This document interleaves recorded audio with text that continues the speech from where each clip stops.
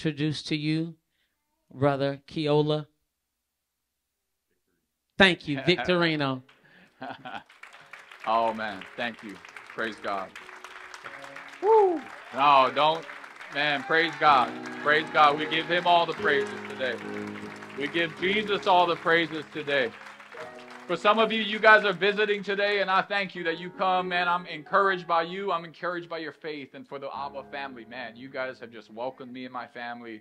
You know, I tried to pull in and they made me park in the front row. I'm like trying, I'm like, no, I can park way out there. They brought me right there. And, and man, thank you. Thank you. Thank you.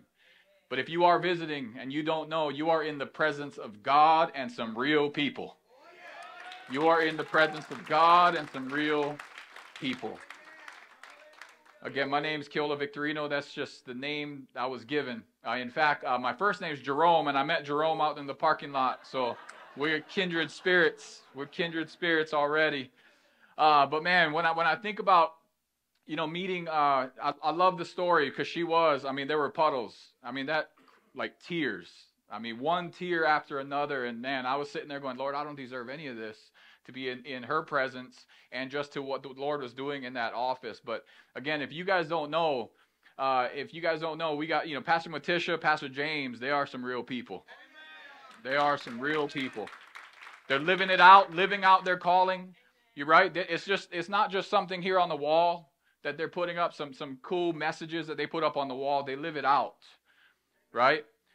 And you know, for and what what's been cool is I've been seeing you, many of you guys faithfully come into our Tuesday nights, like like she was saying. You know, we're at the Raleigh Dream Center, right around the corner, right around the corner, walking distance from here. And you'll see again a lot of our folks here, um, our DCD guys, man, they, they they've walked through these parking lots. Yes, amen, amen.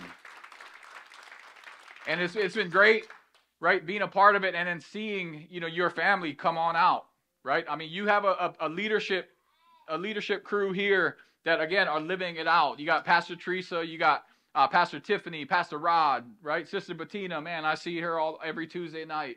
And if you don't know what Tuesday night family night is, what we do is we go down to Moore Square. We'll evangelize to to a lot of our fam from the streets. We'll bust them into the Dream Center. We'll have a meal.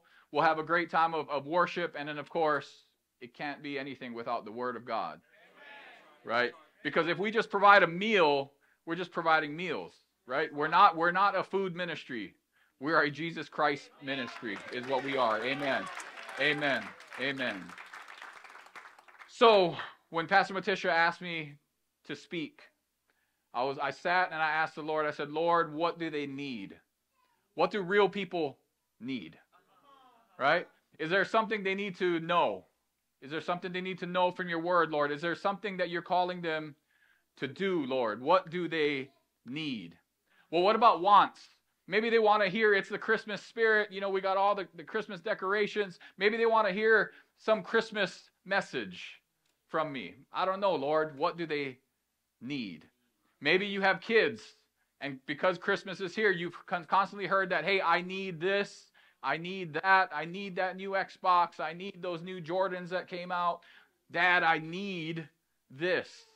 Well, is it a want or is it a need? You see, because wants, wants kind of, it just more deals with our desires, whereas needs deal with our necessities. So, what do we need? I think about a story of a lady named Shannon. Shannon, uh, she, she, you'll see her out here. Um, and I don't know if she came. I, have seen her a couple weeks ago. I haven't seen her since. She said she might come. She's. I don't think she's in the room, but she said it's okay to share this story. But so we we have a Tuesday night one night, and she comes in, and I'm the first person she sees, and she says, "Hey, sir, um, you know, I just left an abusive relationship. All I have with me is the clothes that are on my back." She goes, "All I want is just a couple dollars, and I'll be out of your hair." Of course, we're not a cash ministry, right? Now, if I had cash on me, I may have gave, you know, thought, hey, Lord, I, t- I tell our people all the time, we're not a cash ministry, but if the Lord tells you to give that cash up, you better respond, right? We can't hold on to it tightly, right? So she comes to me, she says that, and I say, hey, listen, I don't have any cash, but what we do have is we have a clothing ministry outside. I got a hot meal for you. We got the word, we got some worship, and I got somebody that can pray for you. Can we just start there? So she comes in, she gets prayed for, she gets a hot meal, she goes out to the clothing ministry, she gets clothing, and what was so cool is she comes out, she had, you know, just t-shirt, shorts, dirty. She comes out of the bathroom, she's got a beautiful dress on, and you could just see a glow in her. And after the evening happened, she comes up to me and she said, Hey, Keola, I just want you to know, man, I thought I needed just some cash to get out of here. But the Lord provided everything that I needed in that day. Amen. Amen. So that's where, if that doesn't compel you, I know, you know, I, I, it's on, it's on your Facebook page, it's in your schedules. If you have not been to Tuesday night, then I want to encourage you. Maybe this is the push that you need to come on down. All right, Amen. And then I also hear Adopt a Block is right around the corner for Abba Worship Center. Yep. We'll save that for another day. But today, in the scripture that we're going to be in today, we're going to see a few of our needs or our necessities as the word sh- shows it to us. But I do believe there is one need that we all have. It's not only essential, but I believe it is our greatest need. You see, me, we may not get what we want until we get what we need first. So today we're going to be in the book of Mark. If you have your Bibles with you, we're going to be in the book of Mark. It's chapter 2, verses 1 through 12. Now, we know that the Gospel of Mark, right, it's a simple book. And like I always like to tell folks as I help them, you just got to go read it. It's not enough just for me to read it to you. It's not enough just for, you know, your parents to read it to you, your your pastors to read it to you. You got to go read it for yourself. Right? It's the shortest of the four gospels. It's packed with just this descriptive detail as, as if you were sitting right there experiencing it with them, being a witness firsthand. And then throughout the book, we see the humanity of Jesus. And Mark 10:45, what does he say? He, he shows the suffering servant, Jesus as a suffering servant. He says, For even the Son of Man came not to be served, but to serve and give his life as a ransom for many. You see, being a servant serving others, it comes at a cost. For you, it, it, it to serve and to come out to the Raleigh Dream Center, it might cost you something. It might cost you convenience. It might cost you time, right? Feeding the hungry. It might cost you something. But we know what, with Jesus serving, being a suffering servant, we knew what that cost him, right? It cost him his life, right? You see, Jesus knew his purpose when he came here willingly. Jesus knew what the mission was. And I'm here to tell you, real people, you have purpose. Are you on mission? Is the question. Hmm. I want to know maybe what's holding you back from being fully sold out. Real people for real people saving the lost at any cost. Right? That's just not just some cute thing on the door. It's something we live out. There's a world that's hurting out there right outside these doors. And we need to reach them at any cost. But what's keeping you from doing that? What's keeping you from doing that? What's holding you back? Right? I even thought about this other, you know, I, love that, reaching the lost at any cost. What about chasing the strays who are long or gone for days? Right? You got some people we haven't seen in a long time. If that's you, I praise God that you're here today. Praise God that you're here today. Let's start next week. We got we got a street going. And then we'll just keep going. Right?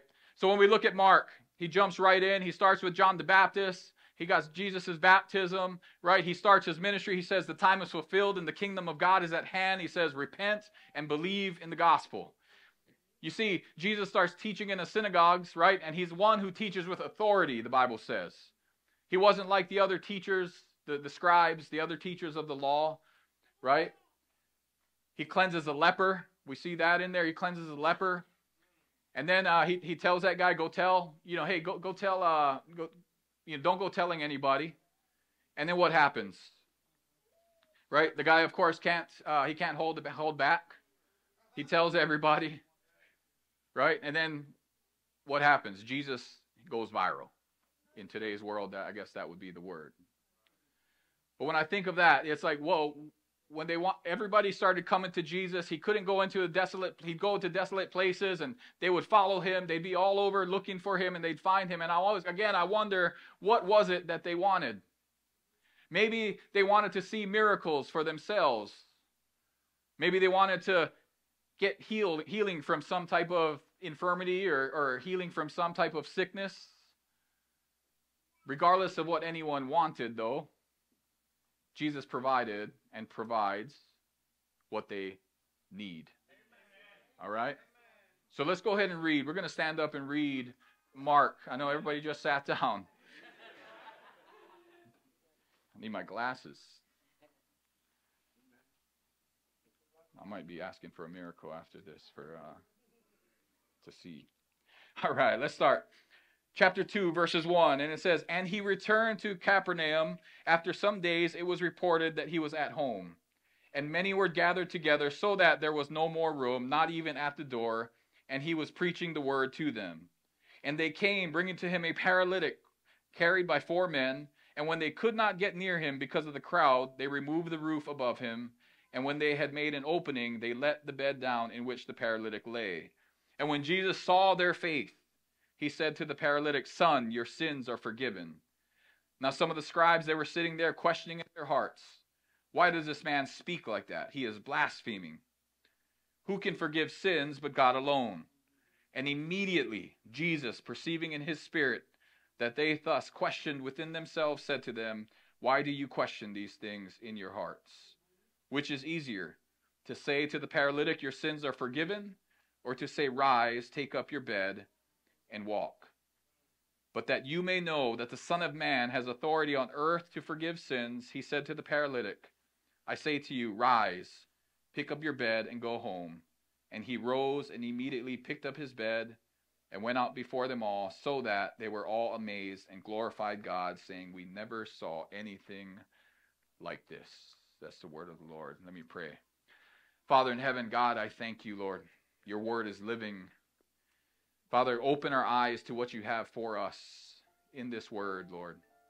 I thank you, Lord, that, that you've give us your word so that we can we can uh, just be under your teaching, that we could talk to you, be in communication with you, Lord. If we want to know about you, we need to open this great book that you have provided, God breathed. So, Father, I praise you. Lord, I, I think about this right now. It's, it, it's, it's not about a building, Lord. It's about a body. This is all about a body, a body that, that was beaten, mocked, scorned, a body that was, was, was buried, but a body that was risen from the grave. It's about a body of believers who are going out reaching the lost at any cost, Lord. So, Lord, I praise you and I thank you, Lord. Show us our greatest need through your word this morning. And it is in your mighty name, Jesus, that I pray. Amen. Amen. Amen. So we'll start out in verse uh, chapter 2, verse 1. Let's start out. It reads And when he returned to Capernaum, after some days, it was reported that he was home. Jesus was in the house. And I believe Jesus is in the house today, this morning. Amen. Now, they say this is most likely the house of Peter. And it says, And many were gathered together so that there was no room, not even at the door. So, like I said, with Mark, it gets pretty vivid. You can put yourself in, in the, you know, right there as if you're experiencing it. So imagine you're there the house is crammed. You're shoulder to shoulder. There's no room, right? You got probably have people up on the windows looking in, what's going on, right? You see, everyone wanted to see Jesus. And what was he doing? Well, it says he was preaching the word to them. You see, the word was preaching the word. So here's one need that we all have real people must hear the word of God preached. You see, it's not enough to just to want to hear the word. It's not enough to just have our Bibles sitting on a coffee table, right? We got to open that word up, right? Real people, we need to sit under its preaching and teaching. So, yes, we need you here on Sundays to hear the preaching and teaching. But there, we got to remind you, there's also another six days and or what is it, six days and 48 hours, something like that. Six days and 23 hours. Let's go. Depends on worship here. Man, we already we're already what two hours in in our day, right? Sunday school, you got to be there, man. If you didn't come to Sunday school, this room didn't have these many people in Sunday school this morning. So next week, let's see you in Sunday school, because man, it was a good message. Pastor James brought something good. All right, I'm not even going to tell you about it because you got to just show up. All right. But yes, it's not periodically. Where's our blessed people at? Amen. Amen. Right? Well, Psalm 1 says, in, in, you know, in, in the spirit of, of reading God's word and being in God's word, Psalms 1 says, the blessed person meditates on his law, on his instruction, day and night. And what's the result of it? He's like a tree planted near streams of water. Right? He yields fruits in its season, and its leaves do not wither, and in all that he does, this is never ending, in all that he does, he prospers. Who wants to prosper this morning? Who's looking to prosper, right? Well, if we look at that too, this is a prospering that money cannot buy. This isn't Midas touch. You know, everything I touch turns to gold, right? This is more peace, more joy. Again, prospering that money cannot buy. You see, we need the inspired word of God. Amen. And then we we don't need to not just we don't need to just immerse ourselves in it, but then we need to do what it says. Right? right? James 1:22. Don't just listen to God's word. You must do what it says, otherwise you're only fooling yourself. Right?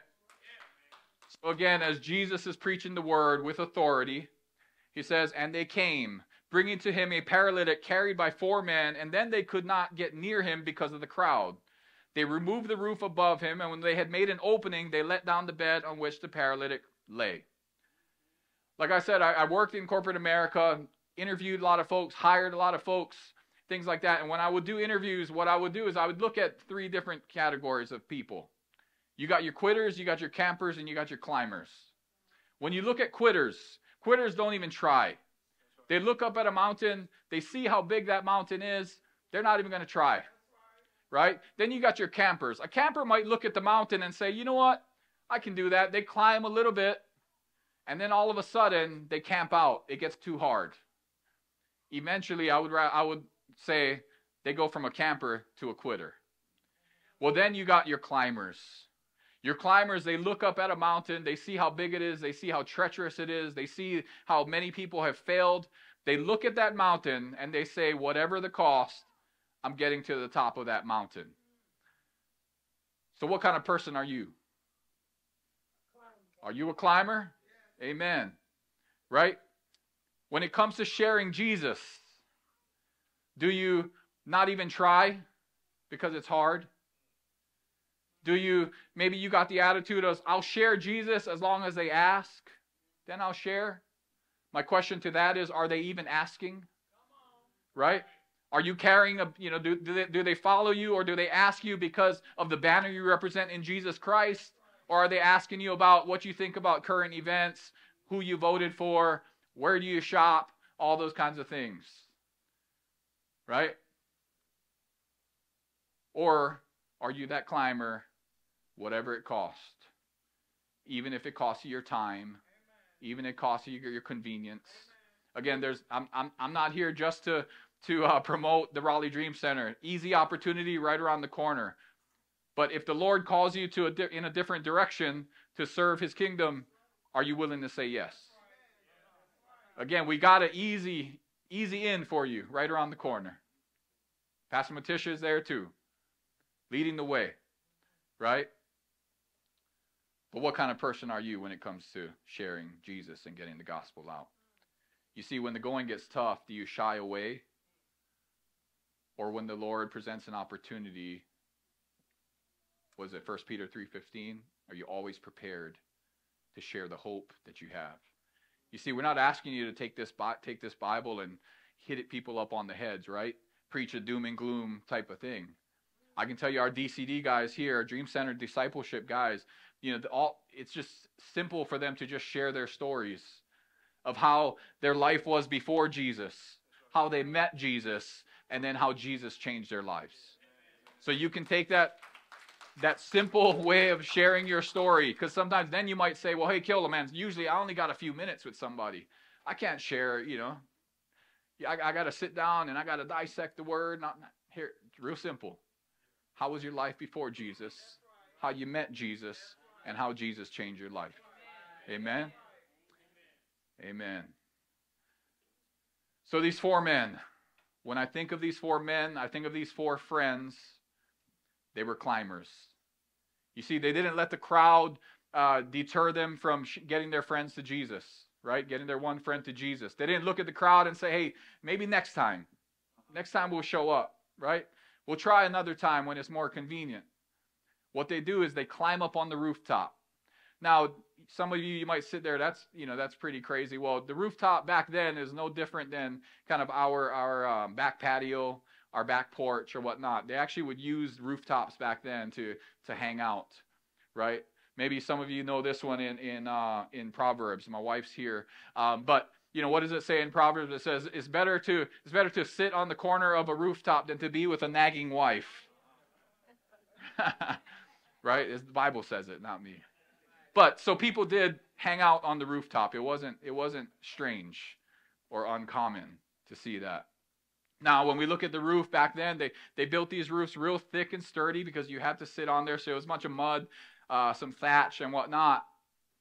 And the one thing uh, I want to, again, we talked about we need, the first thing we needed was we need to be under God's word. Well, taking from this, the second thing we need, real people need good friends.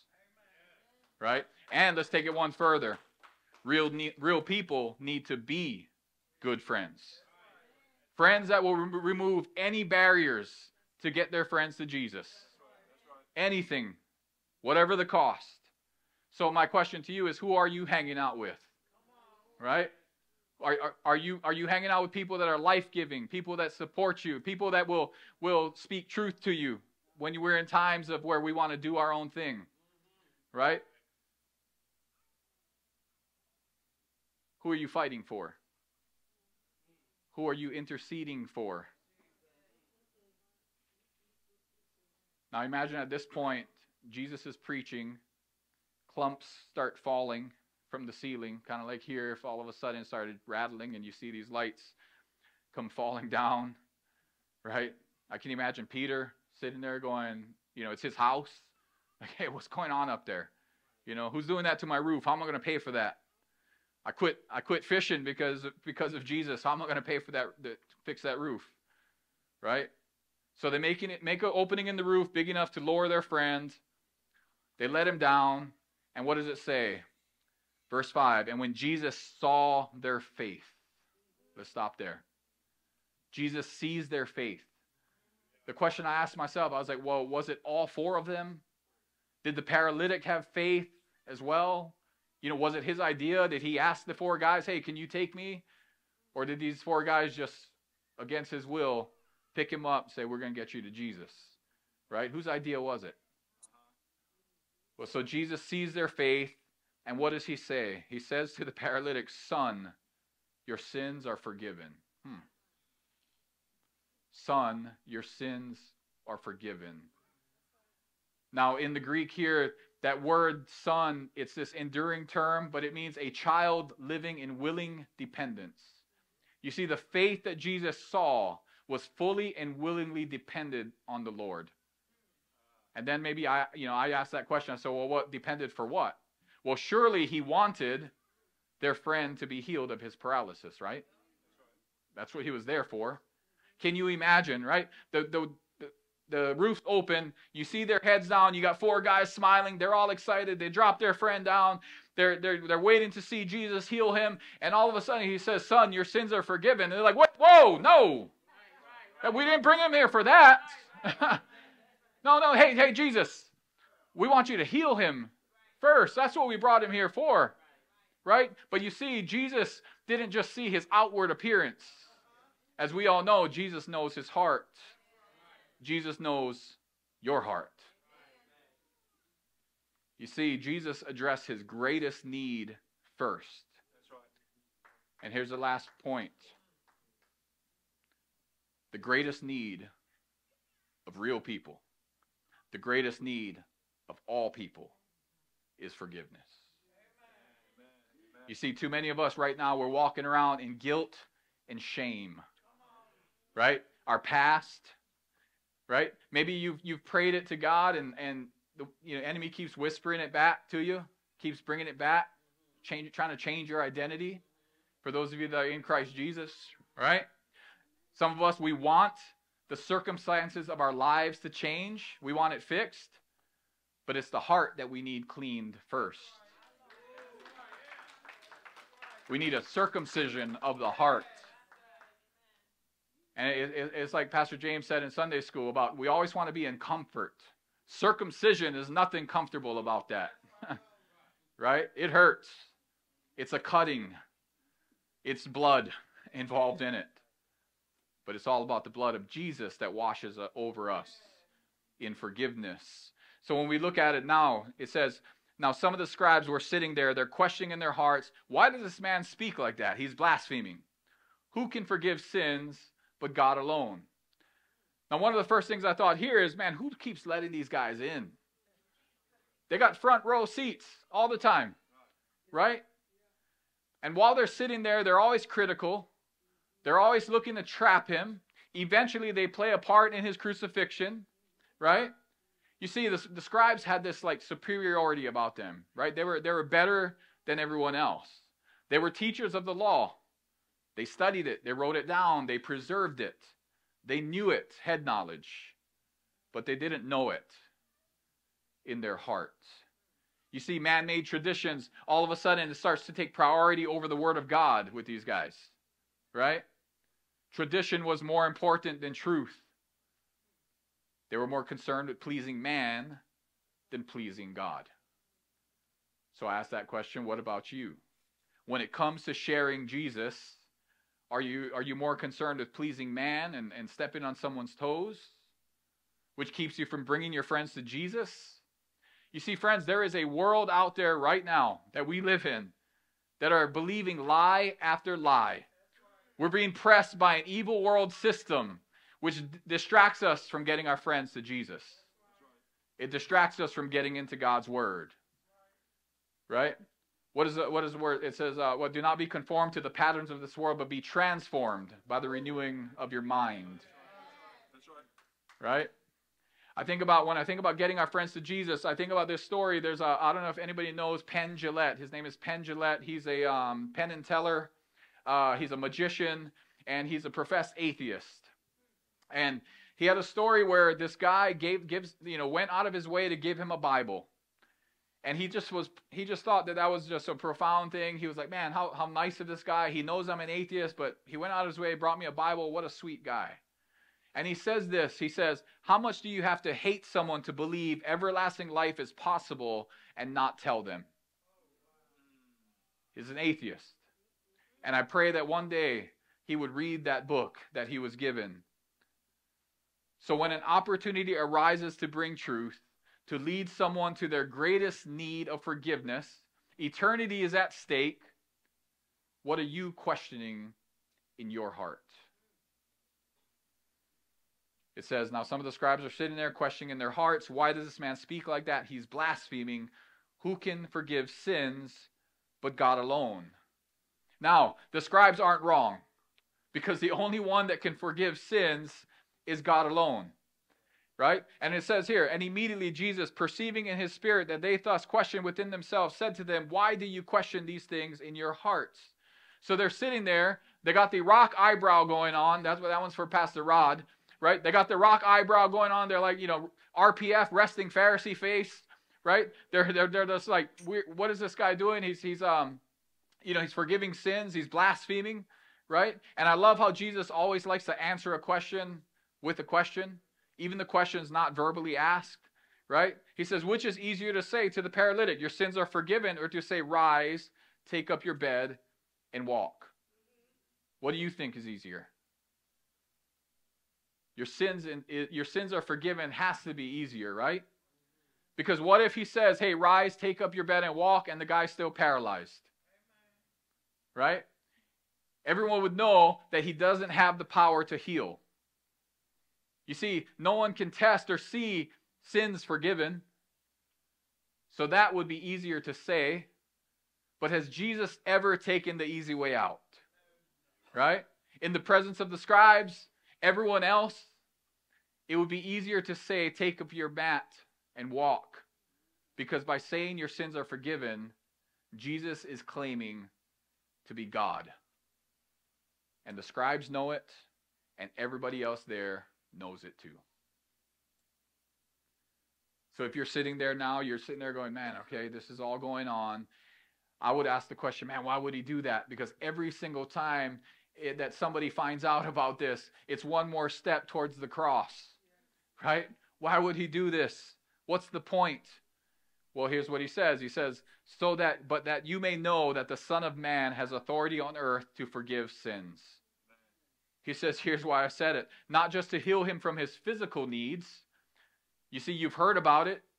He's like, you've seen me heal before. This time he addresses this man's deepest need, his release from guilt and shame, his need for forgiveness of sin, because that was way more important than his paralysis. Now, I want to be very clear. His paralysis wasn't a punishment of his sin, which many believed that back then. You know, that sickness was a punishment of sin. You know, they got the blind man in John 9, right? They asked, when the disciples asked him, hey, who sinned, him or his parents? Right? You see, this, this man's paralysis may have been a consequence of his sin. One pastor I heard talk about this, he, he, he was thinking that maybe it was, it was uh, syphilis or something, right?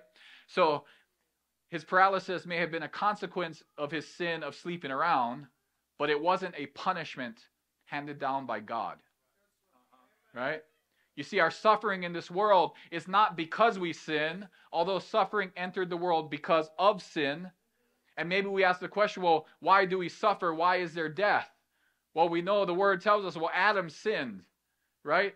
And then his sin is charged to all mankind. That's not fair right? But then our sin is charged to Jesus, and in his abounding grace, his much more grace is charged, credited to us. Amen. 1 Corinthians 15 22, in Adam we all die, so all in Christ we shall all be made alive.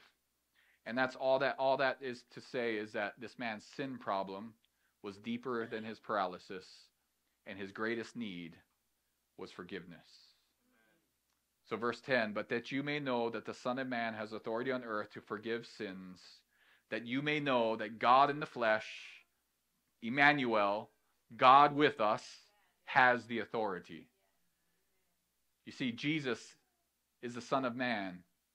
And we see this reference in the, in the New Testament about 84 times as Jesus referenced as the Son of Man. And that's um, that I think that's that's second to Lord and Christ when you read that in in New Testament. But Son of Man is number one when it comes from Jesus' lips as to who he was.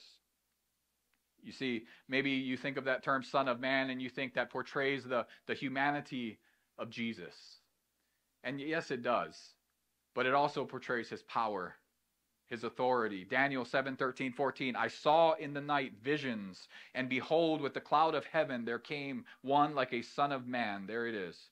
And he came to the Ancient of Days and was presented before him. And to him was given dominion and glory and a kingdom that all peoples, nations, and languages should serve him. His dominion is an everlasting dominion which shall not pass away, and his kingdom one that shall not be destroyed. I think that was in our second song today, first or second song, and I was sitting there going, oh man. So when Jesus uses this term, Son of Man, he's not just speaking with humility. He's not sitting here going, hey, I get you. I'm a man just like you. He's not just saying that. Again, this is his claim to his divine authority. He is God. John 1 1, in the beginning was the Word, and the Word was with God, and the Word was God. He was in the beginning with God all things were made through him, and without him was not, was not anything made that was made. In him was life, and the life was the light of men. The light shines in the darkness, and the darkness has not overcome it. In the beginning was the Word, and the Word was with God, and the Word was God. Only God can forgive sins. And I'm here to tell you God wants to heal you of your greatest need today. And all we need to do is repent, turn away, turn from our wicked ways, and believe. Amen. So, my question to you right now Holy Spirit, I'm asking you to work. What unconfessed sins are you holding on to this morning? Let's take time right now, right where you are. Allow the Holy Spirit to, to just move. Allow the Holy Spirit to reveal to you what unconfessed sins you're holding on to this morning. It may hurt, but He wants to heal you of that this morning. Got a lot of space up here. If you want to come on up, you have the cross. We can just leave it at the cross today. Ask the Holy Spirit, shine that light onto your sin. You see, when we sin, we sin against God. Right? And only God can forgive sin. Even sin against someone else. Right? With, with my wife, when I sin against her, right? She may forgive me when I ask for forgiveness. But I still need to take it for, to God. It's all good and necessary to ask for her forgiveness. But we need God's forgiveness. Because, like I said, all sin is against God. Leave it at his feet today. Maybe you're sitting here, you're going, hey, Keola, man, you just don't know what I've done. I need to forgive myself first. How long is it going to take you to do that? Maybe this is the next step. When the Lord teaches us to pray, He says, ask, you know, forgive us of our trespasses as we forgive those who trespassed against us. Is there someone that you need to forgive? Now, today, I'm not asking you to, to go to that person today until the Lord leads you to it. It might not be a safe situation. I understand that. But right now, you need to let go of that. You need to release that person. Leave it at the cross.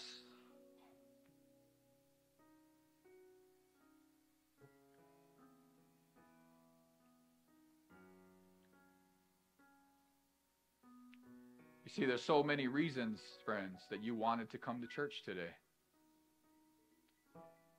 Maybe you wanted to meet new friends. You heard there was a guest speaker, you wanted to hear the guest speaker, maybe you wanted to get your kids connected, you wanted many different things.